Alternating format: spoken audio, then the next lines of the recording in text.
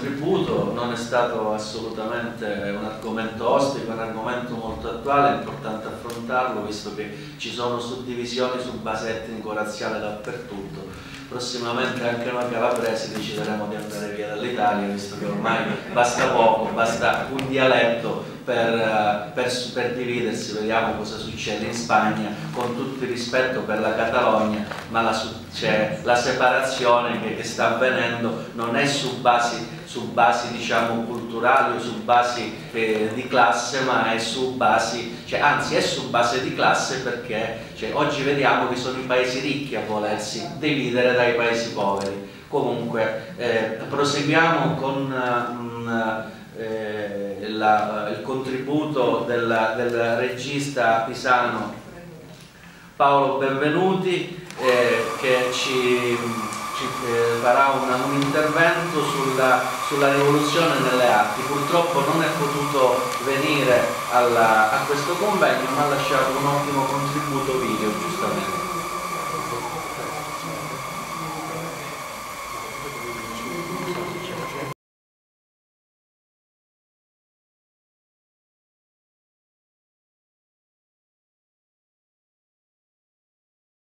Intanto mi scuso per non essere presente con i compagni che stanno eh, partecipando a questa importante manifestazione che ricorda la rivoluzione d'ottobre. E purtroppo per motivi di, di lavoro sono, non sono potuto essere presente.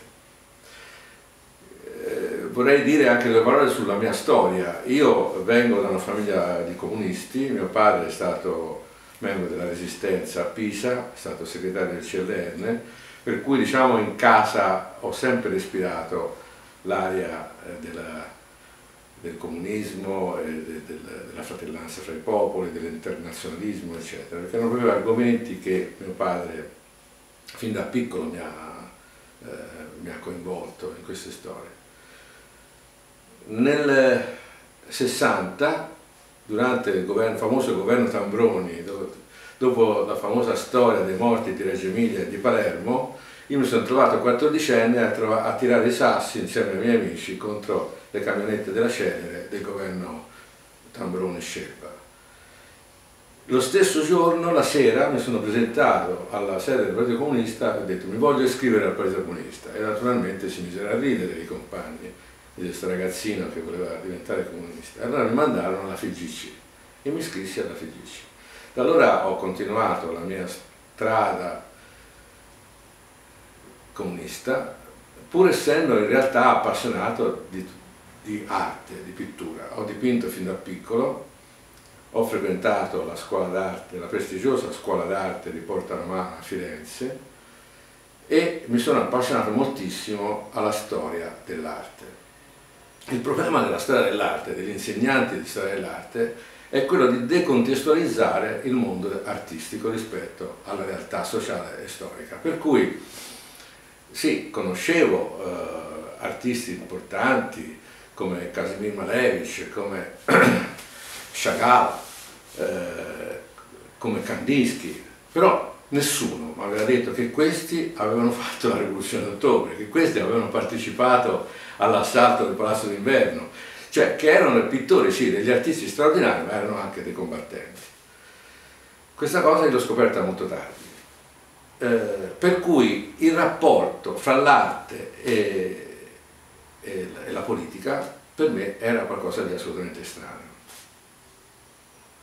Ho cominciato a dipingere, come dicevo, fin da ragazzo e subito dopo la fine della scuola, eh, la fine del Magistero d'Arte di Firenze, siamo nel 66, 1966, ho cominciato a esporre, ho cominciato a partecipare a premi, a rassegne e ho, ho avuto diversi riconoscimenti. Per cui avevo deciso che da grande avrei fatto pittore, era la mia storia, la mia strada, la mia strada era già segnata in qualche modo. Se non che un giorno a Pisa, era alla fine del 67, partecipai con gli altri pittori a una collettiva, in una mostra d'arte di gruppo.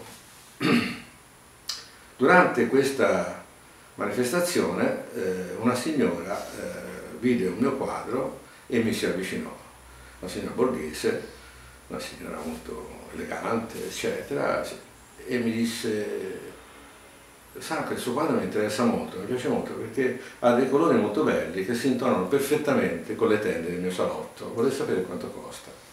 Beh, voi dovete immaginare, era il fine del 67, si avvicinava al 68, io ero fortemente impegnato nella politica, ero profondamente antiborghese e sentirmi dire una cosa del genere mi fu per me una, uno shock. Uno shock così forte che smisi eh, di dipingere. Perché? Perché mi ero posto il problema, ma dico, cosa farò da grande? Cosa farò nella vita? Il decoratore delle case borghese se mi va bene? E questa cosa ovviamente non, non mi piacque. Allora frequentavo molto l'Arci, il nostro gruppo di pittori si riuniva all'Arci, che era in Borgo Stretto, e un giorno un funzionario dell'Arci, il Dinelli, il famoso Dinelli, disse ragazzi, eh, l'Arci Nazionale ha organizzato a Reggio Emilia un, uh, un seminario di, di, di studi sul, sul cinema. C'è qualcuno di voi che è interessato? Allora, nessuno di noi era interessato, ma nemmeno io tra l'altro, perché per me il cinema era quello che si andava la domenica a vedere film di cowboy, film di indiani. Eh, però ero in crisi, non avevo voglia di, di fare più niente, non, non, avevo più voglia di dipingere, ho posato pennelli, colori e tutto. Dissi, ma quasi quasi ci vado anch'io, ci vado io. Parto e vado a Reggio Emilia. Vado a Reggio Emilia e mi ritrovo in un edificio del sindacato della CGL che era stato eh, preso apposta da questi professori, da questi critici cinematografici per tenere questo seminario. Eravamo una, una trentina di ragazzi venuti da tutta Italia e, e io mi muovevo nelle stanze di questo edificio e a un certo punto vedo che in ogni stanza c'è un proiettore che proietta sulla parete dei filmati. Io mi fermo a osservare mi fermo nella prima stanza e vedo eh, la ripresa di un grattacielo, l'Empire State Building. E mi metto lì a sedere eh, con la speranza che accada qualcosa. Dopo dieci minuti di grattacielo io mi alzo abbastanza annoiato e me ne vado. Vado in un'altra stanza c'è un altro proiettore che proietta un'altra immagine e si vede un signore che dorme sdraiato su un divano. Mi metto lì a guardare questo signore sdraiato su un divano e questo continua a dormire. A un certo punto si stira e si gira dall'altra parte e ricomincia a dormire. E come dove sono capitato, in mezzo alla gabbia dei matti. E a un certo punto qualcuno mi fa, eh, sono film importanti, sono film di Andy Warhol. E dico, chi è Andy Warhol? E eh, come chi è Andy Warhol? È un artista pop importantissimo. Ma io ero rimasto a Picasso, a Braque, a Kandinsky, per cui eh, questo signore Warhol non diceva proprio niente. Comunque, ero molto in crisi anche lì e stavo quasi per decidere di andare via. La sera, dopo cena, a un certo punto ci disse guarda stasera c'è un film eh, russo. Dico ma un film russo? Sì, c'è un film russo degli anni 20, alla fine degli anni 20, muto, con sottotitoli in russo. Oddio vai, siamo al suicidio adesso proprio è la, è la fine. Entro in questa stanza dove già era cominciato il film e vedo delle immagini strane che mi colpiscono. Vedo dei tram, vedo de delle sovrimpressioni, vedo un montaggio incredibile. Dopo qualche minuto il ritmo del montaggio di questo film comincia a produrre dentro di me un forte senso di partecipazione emotiva a ciò che sto vedendo. Tra l'altro questo tipo di montaggio, questo tipo di inquadratura lo sento molto vicino a una forma d'arte che io in quel momento eh, seguo con grande attenzione, che è il futurismo, eh, soprattutto il futurismo di Boccioni. Per cui trovo in queste immagini qualcosa di molto vicino al futurismo di Boccioni. A un certo punto c'è una scena che mi colpisce moltissimo, si vede un uomo con una grossa cinepresa alle spalle, col suo cavalletto di legno pesantissimo, che si arrampica su una ciminiera di una fabbrica per trovare dall'alto di questa ciminiera, ciminiera un punto di vista. Allora dico, ma porca miseria, questo con questa macchina che pesa 50 kg si porta sulle spalle, si arrampica su una scegliera per andare a cercare un punto di vista per fare un'inquadratura. Ma questo è un grande, questo è un artista, perché la ricerca del punto di vista è la cosa fondamentale per ogni artista, guardare le cose da un punto di vista unico, eccezionale. Questo è il lavoro dell'artista, trovare il punto di vista. Lì ho un'ispirazione, dico porca miseria, ma allora forse posso uscire dalla mia crisi, posso trovare una chiave. La chiave potrebbe essere il cinema, portare la pittura nel cinema. A questo punto chiedo chi è eh, l'autore di questo film che sto osservando e l'autore è eh, Ziga Vertov e il film è L'uomo con la macchina da presa. Questo Ziga Vertov è un regista russo, rivoluzionario, rivoluzionario nella forma ma anche nello spirito e da quel momento ho cominciato a pensare al cinema come forma d'arte. Eh, secondo te che risvolti ha avuto, che importanza ha avuto, che riflessi ha avuto la rivoluzione eh, sovietica sull'arte e nel mondo? Ma ha avuto un uh, riflesso fondamentale, eh, ma lì è un gioco di andata e ritorno, perché allora eh, lo sviluppo artistico nella, eh, negli anni immediatamente successivi alla rivoluzione d'ottobre è stato determinato in qualche modo dall'intuizione di Lenin eh, del fatto che gli artisti che, che, lui aveva incontrato a Parigi, in, in Italia, cioè i futuristi e i cubisti, eh, potevano diventare elemento fondamentale nello sviluppo artistico del, del, del, post-rivoluzionario. È stato Lenin in qualche modo che ha spinto eh, gli artisti a, ad andare nella direzione del, della ricerca e dello sperimentalismo. È stato grazie alla sua intuizione.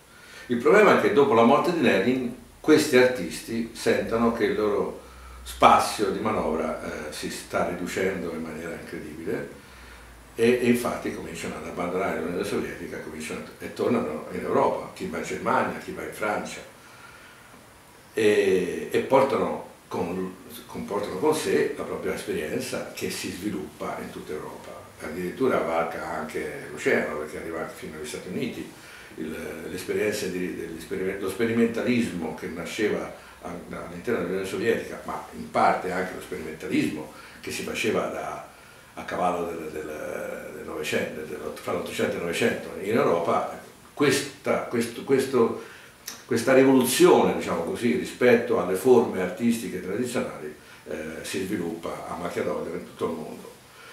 Eh, che dire, eh, in Unione Sovietica purtroppo eh, la politica di Stalin porta a, a, verso una una scelta di realismo socialista che nega in qualche modo, proprio attraverso la retorica che si, che, che si nasconde dietro questa forma espressiva, nega qualunque forma di sperimentalismo, per cui addirittura ci sono eh, artisti che vengono messi a tacere, vengono messi, vengono, gli viene impedito di lavorare, alcuni vengono arrestati, altri vengono addirittura uccisi, cioè c'è una situazione di, di, eh, to, di, ritorno indietro rispetto alle aperture rivoluzionarie eh, rilievo.